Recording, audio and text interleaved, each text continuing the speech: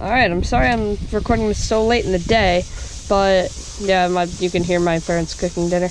Um, so today, uh, we didn't really do much. We went down to um, the other part of Sydney where like that big violin is, or fiddle, whatever you want to call it.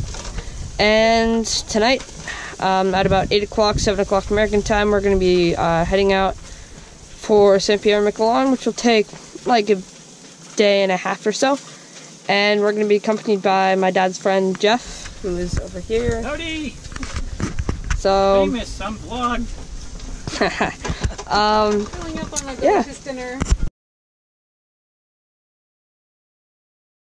alright, well that's about it for today's video. Don't forget to subscribe, like the video, that would be greatly appreciated. And if you want to get notified about um, every time I post a new video about uh, my Newfoundland trip, then hit the bell icon.